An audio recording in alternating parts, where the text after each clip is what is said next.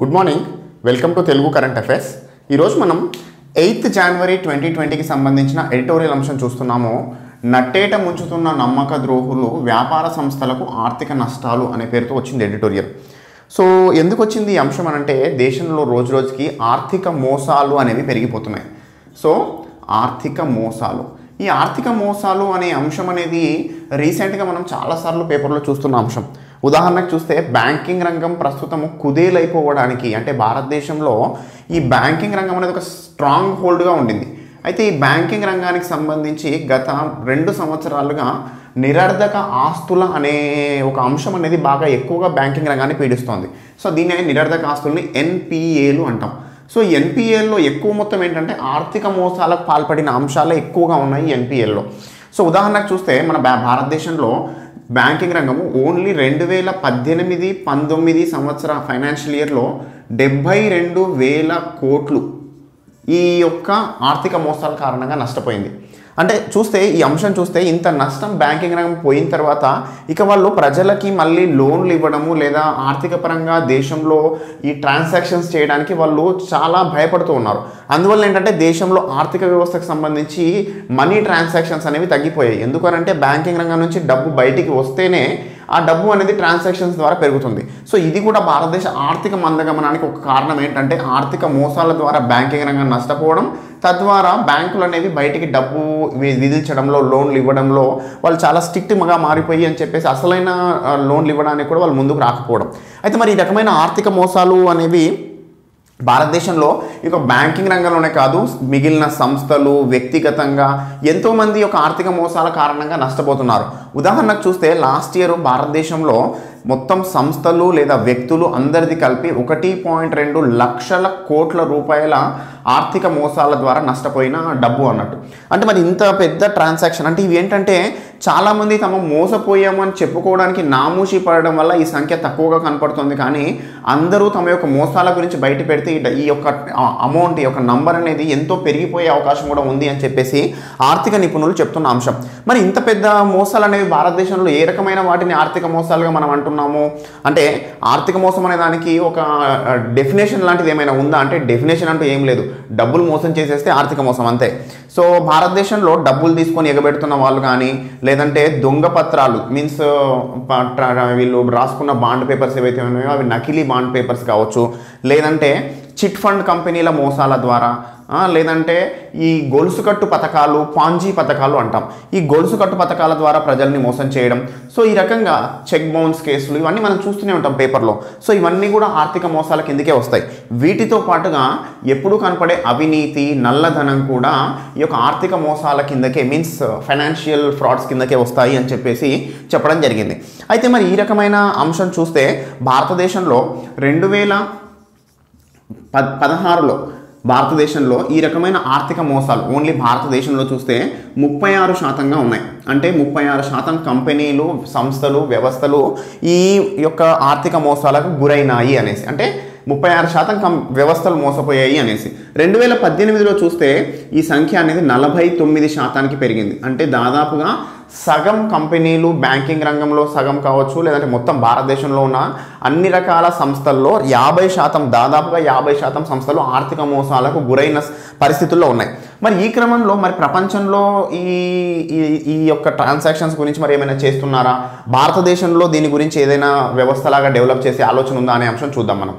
అయితే భారతదేశంలో ఈ రకమైన నేరాలు ఆర్థిక నేరాలకు పాల్పడిన వారికి సంబంధించి శిక్షలు విధించడానికి ఏముంది అంటే బ్రిటిష్ వారి కాలంలో చేయబడిన ఐపీసీ ఇండియన్ పీనల్ కోడ్ ద్వారానే ప్రస్తుతం శిక్షలు విధిస్తున్నారు. అంటే ప్రస్తుతం ఈ జనరేషన్లో జరుగుతున్న కొన్ని రకాల నేరాలు చూస్తే సైబర్ నేరాలు అంటాం.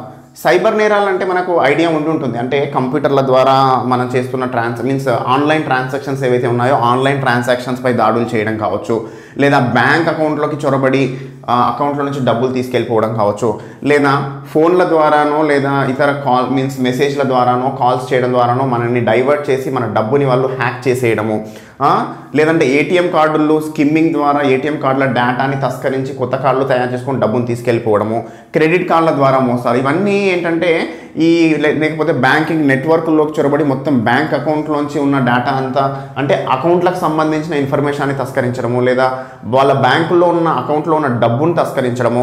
ఈ రకంగా చూస్తే ఎన్నో రకాల సైబర్ నేరాలు ఉన్నాయి మరి ఈ రకమైన నేరాలన్నింటికి కూడా ఇప్పటికీ కూడా ఇండియన్ పీనల్ కోడ్ ద్వారానే శిక్షలు విధించడం జరుగుతుంది. అయితే మరి ప్రపంచవ్యాప్తంగా మరి ఏ విధంగా ఉన్నాయి అని అంటే అమెరికాలో ఒక ఫెడరల్ వాణిజ్య సంఘం అనేది ఒకటి ఉంది.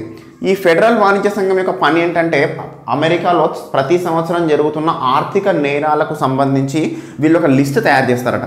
సో ఈ యొక్క లిస్ట్ ప్రకారంగా వాళ్ళకి శిక్షలు మీన్స్ ఈ వీళ్ళు తయారు చేసిన లిస్ట్ ఆధారంగానే వాళ్ళకి శిక్షలు పడతాయి. ఆ శిక్షలు పడే అంశం ఒకటైతే రెండో అంశంగా వీళ్ళు ఏం చేస్తారంటే ఈ ఫెడరల్ ట్రేడ్ సంఘం యొక్క వెబ్సైట్లో ఈ ఆర్థిక నేరాలకు పాల్పడిన వాళ్ళ ఫుల్ లిస్ట్ అనేది ఇక్కడ డిస్ప్లే చేస్తారు. ఒక రాష్ట్రానికి సంబంధించి ఒక ప్రాంతానికి సంబంధించి ఎంతమంది ఆర్థిక నేరాలకు పాల్పడ్డారు వాళ్ళ ఫుల్ డీటెయిల్స్ తర్వాత అమెరికాలో ఉండే ప్రతి వ్యక్తికి మన ఆధార్ లాగా వాళ్ళకు ఒక యూనిక్ కోడ్ ఉంటుంది.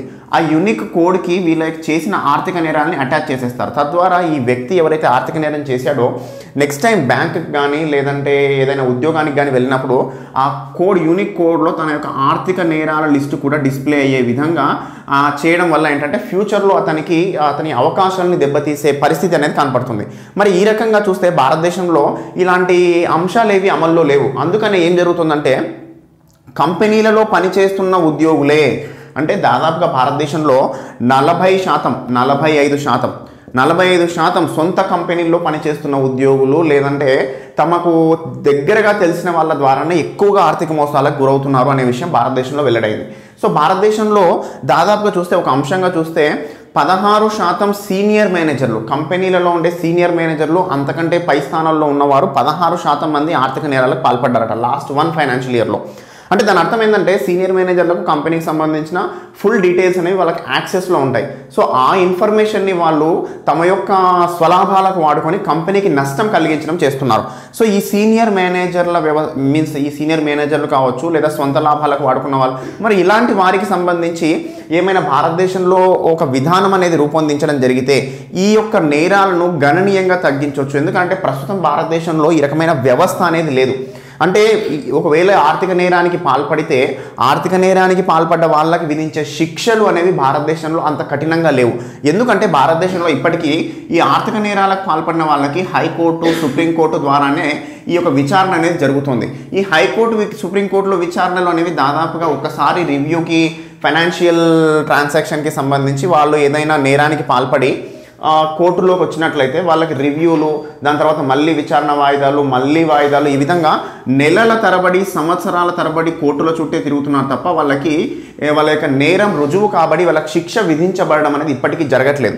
సో ఈ కారణంగానే దేశంలో ఈ ఆర్థిక నేరాలు అనేవి విపరీతంగా పెరిగిపోవడానికి ఒక కారణం అవుతుంది సో మనము భారతదేశంలో ఈ రకమైన విధానాన్ని తీసేసి ఈ ఆర్థిక నేరాలకు సంబంధించి ఆర్థిక నేరాలకు పాల్పడ్డ వాళ్ళకు సంబంధించి ఒక కొత్త చట్టం ఏదైనా తీసుకురాగలిగితే ఆ చట్టంలో ఉండే విధానాలు ఏ విధంగా ఉండాలి అంటే అతి తక్కువ సమయంలో భారతదేశంలో శిక్షలు పడే విధంగా శిక్షలు అమలయ్యే విధంగా ఈ యొక్క చట్టం అనేది ఉండాలి. తర్వాత దీనికి సంబంధించి ఒక కోర్టు మీన్స్ ఆర్థిక నేరాల విచారణకు సంబంధించి ఒక కోర్టు కూడా సో కోర్టు ఆ కోర్టు యొక్క పరిధి విస్తృతమైన పరిధి కలిగి ఉండి దేశంలో గనక ఈ యొక్క విచారణ వేగవంతంగా జరిగి శిక్షలు వేగంగా అమలవుతాయి అనే వ్యవస్థ అనేది భారతదేశంలో డెవలప్ చేసినప్పుడు భారతదేశంలో ఈ రకమైన ఆర్థిక నేరాలు తగ్గే అవకాశం ఉంది.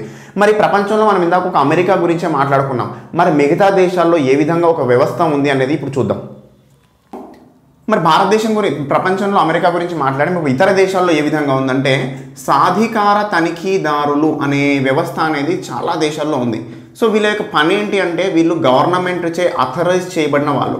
సో వీళ్ళ పని ఏంటంటే ఏ కంపెనీకైనా వీళ్ళు వెళ్ళేసి అంటే మన దేశంలో కాంగ్కి ఏ ఏ విధంగా అయితే ఉందో మీన్స్ అధికారము ఈ సాధికార తనిఖీదారులు ఏ వ్యవస్థకైనా ప్రైవేటు ప్రభుత్వ ఏ వ్యవస్థనైనా కానీ కంప్లీట్ మీన్స్ కంప్లీట్ కంపెనీ యొక్క యాక్సెస్ని వీళ్ళు తీసుకొని కంపెనీలో జరుగుతున్న ప్రతి ట్రాన్సాక్షన్కి సంబంధించి వీళ్ళకి తనిఖీ చేసే అధికారం ఆడిట్ చేసే అధికారం ఉంటుంది.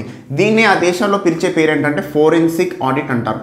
ఫోరెన్సిక్ ఆడిట్ అయితే మరి ఈ యొక్క ఆడిట్లో వీళ్ళు ఏదైనా ఆర్థిక నేరం కనుక జరిగే అవకాశం ఉంది అని కూడా పసిగట్టిన పసిగడితే వాళ్ళు ఇమ్మీడియట్గా దాన్ని అలర్ట్ చేస్తారు. దానికి సంబంధించి నిర్ణయాలు తీసుకునే అవకాశాన్ని కల్పిస్తారు. ఒకవేళ ఏదైనా ఆర్థిక నేరం జరిగితే దాన్ని ప్రారంభ దశలోనే గుర్తించే అవకాశం అనేది ఈ యొక్క విధానం ద్వారా ఆ దేశాలకు కలుగుతోంది.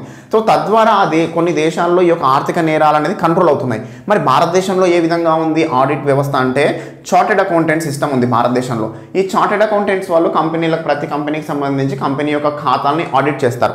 అయితే ప్రస్తుతం భారతదేశంలో చార్టెడ్ అకౌంటెంట్స్కి ఉన్న పరిధి అనేది తక్కువగా ఉంది.